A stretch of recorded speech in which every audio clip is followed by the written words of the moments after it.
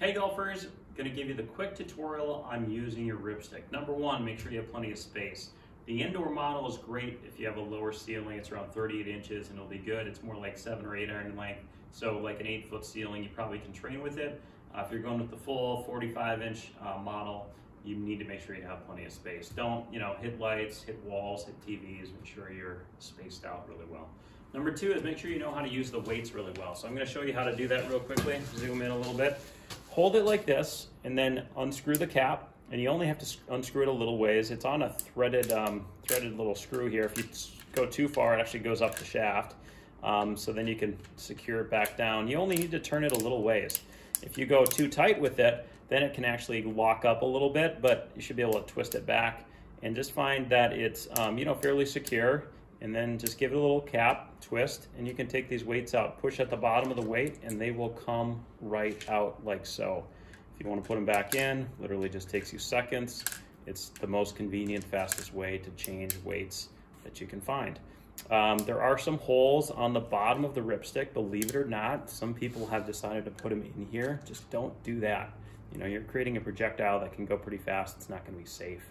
Um, so just make sure you put them in the, the correct slot. These are sound holes, which are what gives it the great swishing sound, and you don't want that sound uh, created uh, with a weight in there because you're gonna create something dangerous. Other than that, it's super safe. Um, we haven't had any injuries reported with Rypstick as a result of putting the weights in wrong at all. So there you go, lock it, load it. The counterweight cap, you can twist this and as you turn that, it'll just come right out. For the most part, we just recommend keeping the counterweight cap in.